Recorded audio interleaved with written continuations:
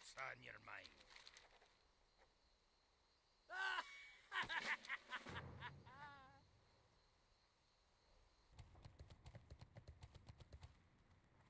Here there.